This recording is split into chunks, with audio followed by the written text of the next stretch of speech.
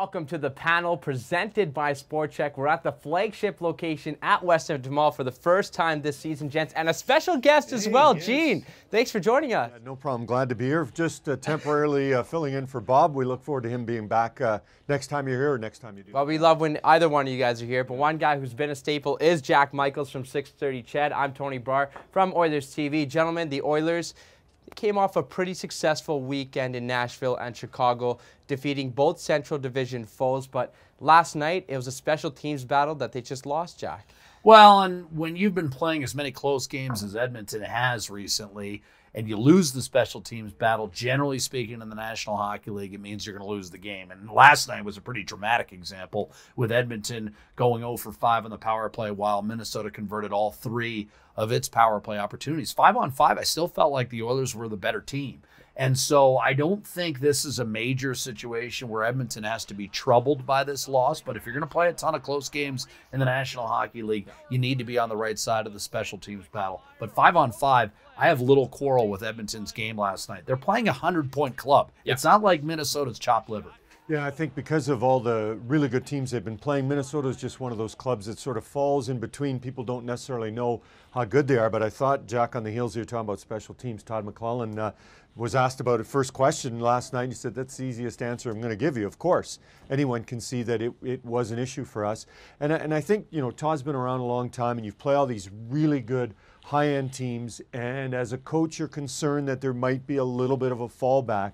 And I, you know, it might be just located regarding their special teams, but it, it just didn't have the, you know, the push that they had against Chicago. Todd saying last season, a game like Chicago, we would have found a way to lose. Now we found a way to win. And last night seemed like a little bit like last season, a game that was kind of right there available for them. They couldn't get either the big save or the penalty kill or just something to turn things in their favor and eventually get two points. And Gene touches on something that I think is worth mentioning, even though this is an Oilers panel.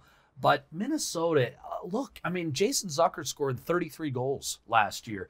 Uh, you've got Ryan Suter, who's got 250 point seasons the last three years. Jared Spurgeon from Edmonton, back to back years of 39, 38 points. No one knows these. Mikael Granlund is coming off back to back seasons of 67 and 69 points. You make a very good point. Minnesota is the least known 100 point club of anyone in the National Hockey League. And the reason is they haven't gotten it done in the playoffs. But don't be deceived. I mean, last night was a quality game against a quality opponent. It's a 4 3 game. You don't win special teams, you don't win the game. It's great because you guys just both touched on it. But yesterday, talking to Bruce Boudreau after the game, he said if Mikael Granlund played in any other city in a Canadian market, people would know how good Mikael Granlund is when asked about number 64. But, gentlemen, coming off that loss, how much emphasis do you put on this next game against Chicago before heading out on a four game road trip? Gene, we'll start with you. Well, I mean, it's it's a big one because it, it seems like guys, I you know, it seems like we're barely home. I mean, it, it's it's you know, I know there was the big trick, trip to Europe and being in Germany and Sweden, it was all wonderful, but it's like as soon as the Oilers get home, before you know it, you, you've almost you haven't even unpacked or you just unpacked and you're ready to, to pack again. And I mean, they head off. Detroit's playing better. Uh, Washington's Cup champs. Uh, Tampa's one of the best teams in the NHL. And Florida, uh, they've got their own travel issues because they're headed back after playing, you know, in Finland. So.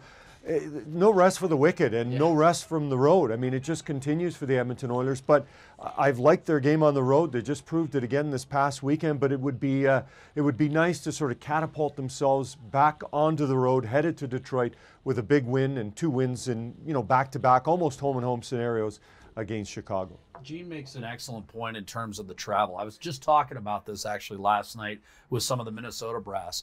Is for Edmonton, you know, week on, week off, road versus home doesn't sound like a lot, but when you live in Edmonton, that's an extra couple hours flying every time. It's not like you're centrally located like Minnesota, where it's an hour and a half to Nashville, 45 minutes to Chicago, or even any of the Eastern Conference teams where you're back home in your bed often after a road game. So that's what Gene's talking about in terms of that back and forth. Doesn't look like a long road trip, but it does seem like an extension of everything because some of these players, some of the brass hasn't even unpacked from the first trip yet. Yeah. So it is vital to get the game against Chicago. And here's why. As Gene mentioned, you know, Detroit's improved. You go four more on the road, and at some point, it's going to catch up with you. I mean, the Oilers have won four in a row on the Yeah. road, but generally speaking, in the National Hockey League, it is tough together to cobble, you know, long streaks on the road. You've got to establish yourself at home as a 600 or maybe even a 650 squad. Yeah. So you allow yourself some cushion